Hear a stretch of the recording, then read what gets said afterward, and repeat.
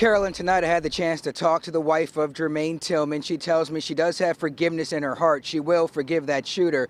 But tonight she's concentrating on the memories and the lives he saved.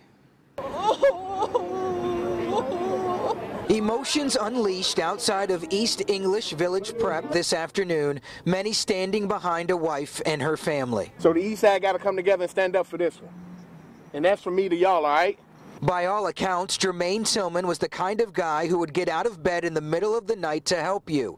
A volunteer mentor to many teenagers in the crowd, also fighting to get others to walk away from gangs. This is how and how the kids did it and how they signed it and I'm, I'm keeping it. His wife shared memories with Action News, cracking a brief smile at a sketch of her husband.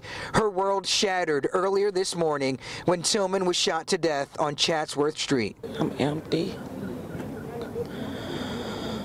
I'm numb. No words. And when you're out there trying to figure out which way to go and what to do and how to live, I want you to think about Jeremaine Tilmon. The large crowd said goodbye with candles and stories, many thinking how could this happen to the man who'd been there for them so many times. He just did what he can do and he was good at what he did and it was all about community. It was never about him. I got to keep moving and I can't carry all this anger and hate in me for this man. I forgive him.